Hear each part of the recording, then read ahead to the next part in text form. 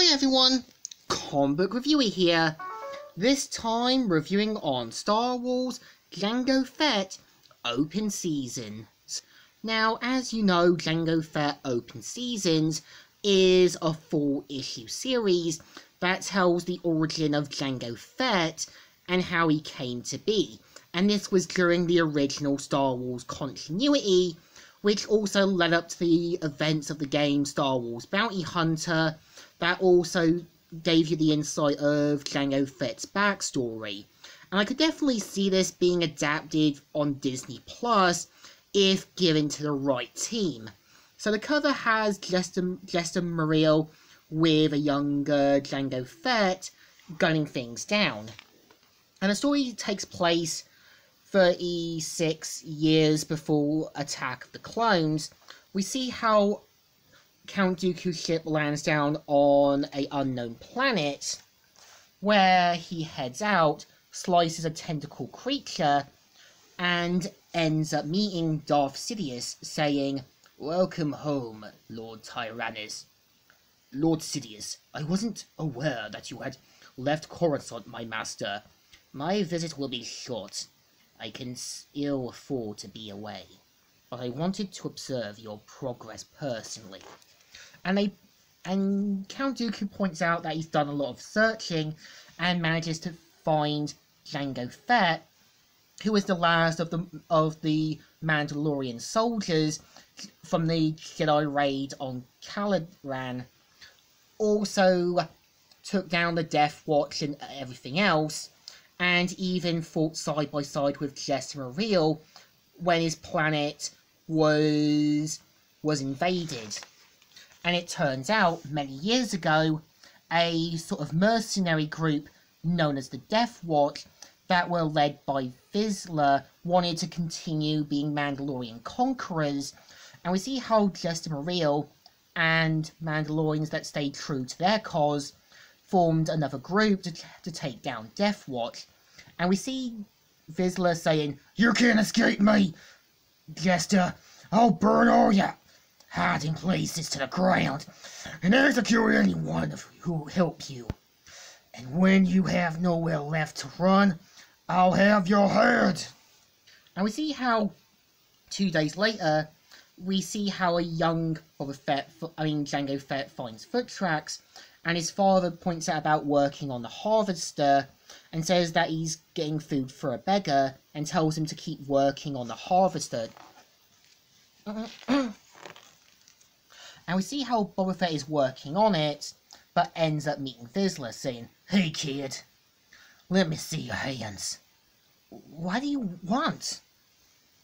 And of course, they're going to take the kid back home and find information on where Jester Muriel is.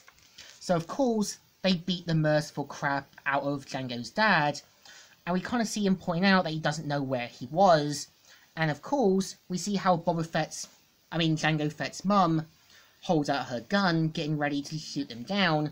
And we see Jango's dad saying, Run, Jango! And of course, runs as they end up getting killed. And we see how Jaster Mereel and the other Mandalorians try and take down Vizsla's group. And of course, they mainly take Jango's sister, and it had been confirmed in the original continuity that she was later taken to a mental health facility. And we see Jess Muriel saying, Field's on fire, let's move. Your family's dead, boy. Come with us or die here too. And of course, we see how they journey further from the burning fields, and of course, manage to get into the water pipe system, which of course, they get out alive. And of course, we kind of see how Jess Muriel takes Jango under his wings and says, You know how to use a blaster, boy? Yeah, my dad, he taught me to shoot. Then he was a good man. The ball comes with us. And we kind of see how Vizsla and his also Death Watch group do some R&R to take whatever they want. So of course, we see that the Mandalorian group show up once again to take on Vizsla's group. And of course, we kind of see how Montrose was originally one of the Mandalorians under Jaster's command. and of course, we see how Boba Fett manages to blow up one of the tanks single-handedly. And of course, Jaster saying, Vice 3 complete, pick up the smugglers. And of course, takes down some more of the other members of Death Watch. And just then, even Vizsla's right-hand man tries to take on Jango Fett.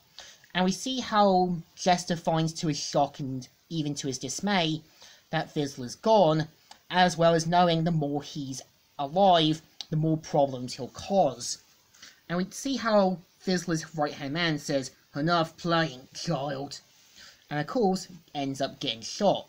And he said, and we see Jaster saying, You came through, Jango, but we have to go now.